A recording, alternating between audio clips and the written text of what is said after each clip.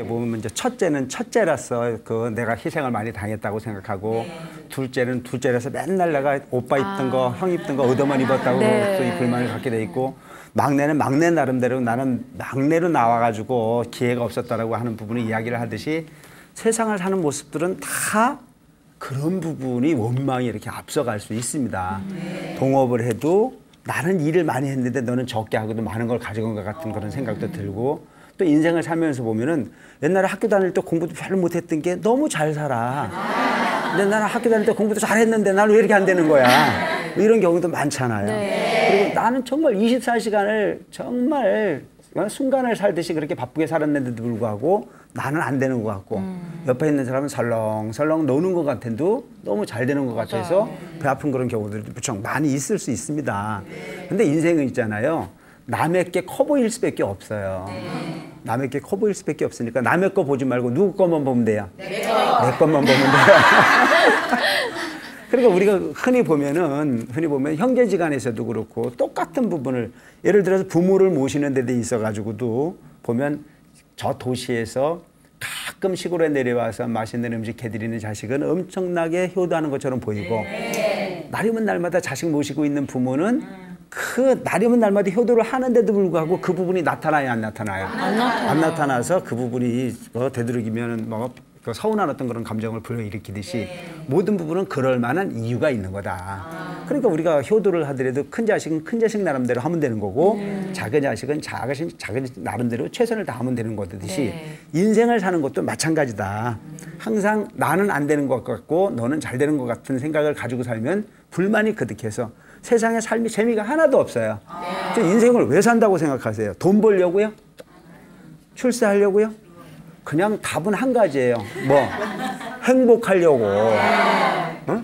그럼 행복이라고 하는 부분은 어디에서 와요? 내 자신의 만족에서부터 행복이 오는 거지 남을 쳐다보고는 절대 행복이 안 와. 그러니까 예를 들어서 나보, 내 아들보다 공부 잘하는 집의 아들을 쳐다보고 침 흘리지 말라니까 그냥 너는 그냥 공부를 잘하면 그 나름대로의 몫이 있을 거고 내 아이는 설사 공부를 못해도 내 말을 잘 들어 안 들어?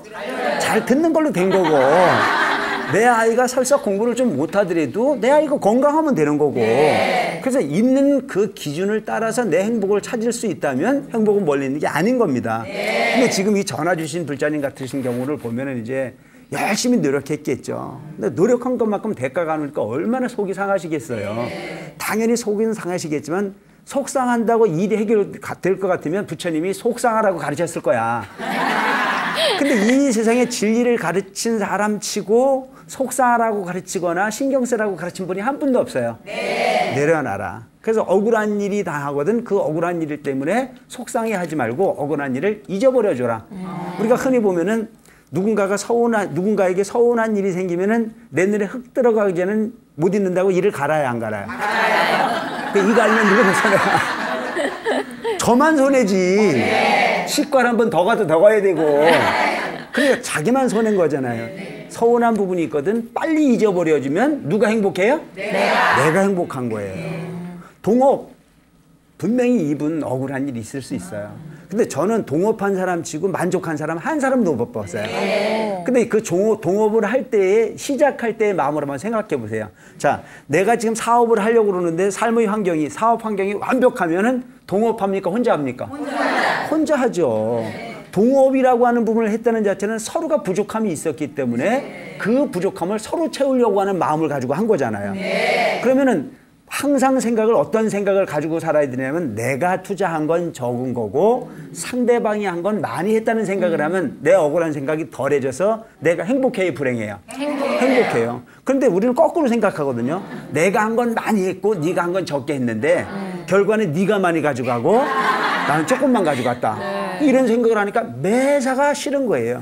자 생각 하나를 바꾸면 살고 있는 현실이 상대가 고마운 보살로 보여지고 은인으로 보여준다면 그 은인을 만날 때마다 행복합니까? 안 행복합니까? 행복해요. 근데 그놈이 나를 기만하고 내 걸 뺏어가고 내가 손해를 봐서 너하고 하는 부분 자체는 아주 그냥 왼수처럼 상대가 보이면 만나는 그 순간마다 지옥입니까? 극락입니까? 지옥. 이에요 그러니까 예를 들어서 사업을 하다가 아마 이분들도 서로 안 맞아가지고 결별을 했겠죠. 결별을 하는데 이분 같은 부분은 사업을 하다가 너무 지쳐서 그만뒀거나 음. 아니면 어떤 기회가 없어서 그 상대방에게 밀려났거나 아. 뭐 이런 여러 가지 부분에 문제가 있었겠죠. 네. 자 그렇다면 갈등에 의해서 결별을 했다 손 치더라도 한쪽에만 문제가 있는 게 아니고 양쪽에 문제가 있었겠죠. 네. 여러분 부부싸움 하세요 안 하세요? 해요. 그럼 꼭 부부싸움만 그러면 누구 때문에 싸웠어요? 어? 너 때문에 싸웠잖아요. 근데 나 때문이라고 하는 소위 생각만 하면 싸워 안 싸워? 싸워. 나 때문이라는 생각을 하면 이제 미안해요. 네. 그래서 부부 싸움을 하고 남편이 출근을 하고 출근을 하고 난 다음에 미안한 생각을 가지면 퇴근하는 남편에게 미안한 마음 가지고 맛있는 반찬 준비하네. 네. 맛있는 반찬 준비해서 평상시에 안 했던 부분도 정말 미안하다. 그럼 풀어줘요, 안 풀어줘요? 풀어줘요. 그런데 안 풀어지는 경우는 뭐야? 너 때문에 싸웠지, 나 때문에 싸웠지 동업이라고 하는 부분도 결론은 이제 그런 거예요. 그래서 항상 초심을 잃지 마라. 네. 처음 시작할 때에 처음 시작할 때 이것이 정말 내가 부족했기 때문에 너한테 신세지는 마음으로 함께 한다는 쪽의 생각을 잊지 마라. 네. 결과야 어떻게 됐든지 간에 그 과정이 어떻게 됐든지 간에 항상 그 초심을 잃지 않으면 감사한 마음을 갖게 돼 있고 그 감사한 마음을 가지면 결별을 했든 계속하든 간에 그 상대방은 고마운 인연으로 거듭났겠죠. 네. 그래서 여러분 가장 중요한 인간 인과의 관계에서 물질을 남기는 과정을 살지 말고 뭐를 살아야 돼요? 사람을 남기는 인연을 남기는 부분의 삶의 주인공이 될 수 있도록 할 필요가 있습니다. 그래서 오늘날 우리가 흔히 보면은 이그 동업 같은 거를 하려고 하다 보면은 상대방을 먼저 볼 줄 아는 안목이 필요해요. 그래서 첫째는 이 동업을 하다 망했거나 내가 그 하는 일이 잘 안 될 때는 그 원인 분석을 해야 되는 원인 분석을. 네. 원인 분석을 뭘로 해야 돼요? 나가 내가 지금 하고 있는 것이 바르게 하고 있는 거지 나를 자꾸 분석해야 돼. 근데 우리는 나를 분석하려고 하지 않고 누굴 분석해? 너를 분석해. 그래서 결혼을 하기 전에는 나를 잘하는데 결혼하고 나면 제일 잘하는 게 누굴 제일 잘 알아? 상대방을 제일 잘 알잖아요. 그 상대방을 제일 잘하니까 맨 비판거리밖에 안 나오는 거라. 네. 그 자기 자기 눈에 티끌은 보지 못하고 엉뚱한 상대방의 그 잘못된 부분만을 가지고 자꾸 지적하는 그런 부분이 버릇들이 사람도 잃고 환경도 잃고 다 잊어버리는 그런 경우 수들을 만들어낼 수 있다. 또한 그 대모 이 동업 같은 걸 할 때는 대개 상상하는 게 뭘 상상하는 줄 아세요? 잘 되는 것만 상상하거든요. 음. 근데 항상 동업을 시작할 때 뭘 생각해야 되냐면 최악의 경우를 생각해야 돼. 아. 항상 망할 수 있다라고 하는 쪽의 생각을 가지고 가면 실패를 덜 하는데 음. 꼭 성공을 갖다 놓고 전제하에 뭔 일을 저지르려고 그래요. 그래서 저는 이제 가끔 보면 절에 있다 보면은 상담하러 오는 분들이 많아요. 잘 되는 분은 상담하러 올까요, 안 올까요? 잘 되는 사람은요, 지가 잘나 잘 되는 줄 알고 안 와요. 누가 꼭 오냐 하면 안 되는 사람이 오는 거예요. 안 되는 사람이 오는데 그 안 되는 사람이 오되 조건이 별로 아닌 사람이 꼭 와서 큰 걸 하겠다라고 하는 욕심을 가지고 와요. 그리고 와서는 하나같이 완벽하다 이거예요. 자기가 완벽하게 될 수 있다 이거예요. 뭐만 봤어요? 욕심이 앞을 가려가지고 긍정적인 것만 봤어요. 음. 근데 스님한테 오면 긍정적인 것만 얘기를 해주는 게 아니고 부정적인 걸 얘기를 해줘요. 아. 이럴 수도 있다, 이럴 수도 있다. 쭉 이야기를 해주면 나중에 생각하지 못했던 부분을 가지고 다시 한번 생각하게 하고 음. 그러고 난 이후에 본인들이 그 계산을 해서 시작하려면 실패가 그만큼 적어질 수 있습니다. 네. 그래서 여러분 꼭 스님이 아니라고 하더라도 어떤 일을 할 때는 반드시 상담이라고 하는 부분의 채널을 통해서 음. 내 생각 외에 딴 사람들이 객관적으로 생각하고 있는 부분까지도 뭔가 이렇게 걸러볼 수 있는 부분에 차근함이 착, 그 착실함이 좀 필요하다라고 하는 그런 생각도 좀 하게 하고요. 그 다음에 제일 중요한 부분은 정보라고 하는 부분은 동업하는 사람과 서로 공유를 해야 돼요. 네. 나만 알고 있고 상대방만 알고 있으면 갈등이 심해질 수밖에 없겠잖아요. 그죠? 네. 그래서 부부지간에도 제일 심각한 거 어떤 게 심각한 거예요? 말 안 하는 거잖아요. 네. 말안 하는 거. 밖에서 일어났던 일이든 안에서 일어났던 일이든 밥 먹으면서 서로 이야기를 하는 가정은 건강한 가정이에요. 네. 그런데 꼭 입 다물고 앉아가지고 나하고 나하고 아무런 관계가 없어. 그냥 땡소리 나면 밥 먹고, 땡소리 나면 자고, 땡소리 나면 그냥 그 소위 출근하고, 이런 부분이 가정은 위기 가정일 수밖에 없는 거잖아요. 그래서 여러분들도 우리가 동업을 하거나 가정을 꾸리거나 어딜 가든지 간에 소통이라고 하는 부분이 제일 중요한 부분이다.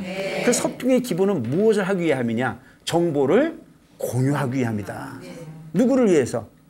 우리를 위해서. 동업은 한 가족이잖아요. 한쪽이 잘못되면 내 것까지도 갉아먹는 경우가 생기는데 대개 보면은 되나 봐라 하고 보죠. 그리고 여러분들이 흔히 보면 옛날에도 그 이야기를 많이 했지만 부부 싸움을 해도 대개 우리 보살님들이 남편한테 유일한 무기 하나가 있잖아요. 뭐? 말 안 하는 거. 왜? 어? 왜 말을 안 해? 속 터져 죽으라고. 그 동업자도 그런 관계로 가면은 많은 부분일 수밖에 없잖아요. 그러니까 좋든 싫든 간에 정보는 공유해야 되는 부분이다. 그다음에 서로 크로스 그 체크를 할 필요가 있는 거죠. 내가 너를 믿는다. 네가 나를 믿는다. 이게 사실은 믿는 게 아니거든요. 나중에 사고 다 쳐놓고 난 다음에 크게 원망하기보다는 평상시에 습관을 그렇게 들여라. 네가 체크하고 내가 체크하고 그래서 문제점을 만들어내지 않기 위해서 애를 써라. 뭐 이런 부분이 방향으로 가다 보면 서로 원망할 일도 없는 거고 또 그 부분이 흥하면 흥한 대로 서로에게 칭찬할 수 있는 부분이고 부족한 부분을 사업, 설사 사업이 안 되면 안 되는 부분에도 서로 이해할 수 있는 부분의 방향으로 적어도 물, 물질은 잊어버렸어도 사람은 어때요? 좋은 사람이야. 그래서 여러분 상대방을 좋은 사람으로 보려거든요. 내가 좋은 사람이 돼야 돼요. 내가 좋은 사람이 되려거든요. 그냥 설렁설렁 살아서는 안 돼요. 내가 완벽한 사람이 되기 위해서 애를 써야 됩니다. 그래서 여러분 도둑질을 당하는 사람하고 도둑놈하고 어떤 놈이 나쁜 놈이에요? 너무 어려워요, 스님. 똑같은 놈이야. 에? 도둑을 도둑질을 당하는 사람도 보면 그걸 허술하게 관리했다라고 하는 책임이 있는 거잖아요. 그걸 완벽하게 관리를 했으면 도둑이 안 들어왔을 거야. 문단속을 적게 했거나 뭔가 그 제대로 못했기 때문에 그와 같은 경우가 생기는 거잖아요. 자, 우리가 흔히 보면 사기꾼하고 사기를 당한 사람하고 보면 사기꾼은 나쁜 놈이고 사기를 당한 사람은 어떤 사람이에요? 착한 사람이에요? 비슷한 성향이 있기 때문에 사기를 당하는 거야. 내가 노력한 것만큼의 대가만 갖겠다 그러면 사기를 당해 안 당해? 사기를 안 당해요. 욕심이 앞을 가리니까 사기꾼이 아 저가 잘 물렸다 싶어가지고 사기를 치고 사기를 당하는 일이 반복되는 부분이듯이 우리 인생이라는 부분도 마찬가지다. 고로 남을 쳐다보지 말고 현실 속에 나로 만족할 수 있는 부분이 인생을 꾸려갈 수 있도록 애쓰는 부자가 됐으면 좋겠다.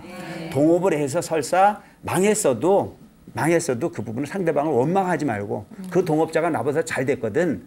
너라도 잘 됐으니 얼마나 다행이냐. 축원해주고 기도해주고 축복해주라는 얘기죠. 그러면 내 마음이 넉넉해지기 시작을 해요. 그리고 그 사람도 뒤에서 들어오는 이야기가 그 사람이 나를 욕을 안 하고 참 잘 되는 걸 진심으로 좋아해 준다면 그도 또한 행복해서 기회가 된다면 이 사람과 손잡고 싶은 생각이 들겠어요, 안 들겠어요? 들어요. 그런데 우리는 그런 여유가 없어요. 너하고 나하고 똑같이 시작했는데 어떻게 너만 먹고 사냐? 나한테는 요만큼도 어떻게 돌려줄 수가 없냐라고 하는 쪽의 원망을 서로 하다 보면 구만팔천리 그 관계는 점점 점점 더 멀어질 수밖에 없겠다. 그리고 반드시 어떤 일을 할 때는 대가를 바라고 일하지 않는 삶을 사시기 바랍니다. 아시겠죠? 현실 속에 최선을 다하는 관계로 인생을 살아가세요. 어떤 대가를 바라고 뭔가 행위를 하면요 서운한 일이 너무 많이 생겨지기 시작합니다. 선물을 주실 때도요 그냥 무심으로 주세요. 그냥 좋은 마음으로 내가 나 좋아하는 마음으로 성의 표시했거든 그걸 끝내셔야 돼요. 근데 내가 너한테 그걸 줬는데 너는 나한테 언제 갚을 거야 하고 기다리면 시시때때로 그 사람을 볼 때마다 미워지기 시작하는 겁니다. 자, 사랑하는 마음과 증오하는 마음은요, 백전장 차이예요. 그래서 애증입니다. 사랑하는 마음이 없으면요, 증오하는 마음도 안 생겨요. 여러분들 가만히 한번 주변에 놓고 보세요. 내가 진짜 친구가 미워요. 그 친구가 처음 만나는 순간부터 미웠나요? 아니요. 그 친구하고 사이가 참 좋았었어요. 근데 그게 난해 붙고 딴 거하고 친하니까 열받는 거죠. 서로 그런 질투라고 하는 부분, 증오가 생기는 것은 내가 사랑을 하지 않았으면 증오심은 그렇게 과하지 않다라고 하는 얘기입니다. 그래서 항상 내가 뭔가 사랑한 마음으로 베풀었을 때 그 베푼 대가를 바라지 않는 마음으로 동업을 해도 그렇고 인생을 살아도 그렇고 항상 바라는 마음이 적게 하고 내가 노력한 것만큼만 살겠다. 그리고 이런 부분을 보면 어떤 사람은 열심히 하는데도 안 되는 사람이 있는가 하면 어떤 사람은 그냥 설렁설렁 하는데도 잘 되는 사람이 있다. 이유가 뭘까? 정말 이해가 안 된다. 이것은 딴 종교에서는 설명이 안 되는데 불교는 그게 이해가 되는 거예요. 왜? 업이라는 게 있으니까. 전생에 지은 업에 따라서 지금 적게 노력해도 전생에 지은 업이 많으면 많이 빠져나가게 되는 거고 전생에 지은 공덕이 많으면 이변성이 설렁설렁해도 남보다 잘 될 수 있는 부분이고 그렇다고 우리는 잘 된다고 자만하지 말고 안 된다고 절망하지 말고 인연 인과에 따라 사라지는 인생이라면 좋은 인과를 만들기 위해서 애쓰는 불자가 되기 위해서 기도하고 수행하고 내려놓고 정오하지 말고 긍정적 사고를 통해서 상대방에게 찬사를 보낼 수 있는 마음으로 살면 나도 행복하고 너도 행복하고 물질이 행복이 만들어지는 것이 아니고 삶의 방법을 통해서 행복을 구하는 지혜 있는 불자가 되셨으면 좋겠습니다. BTN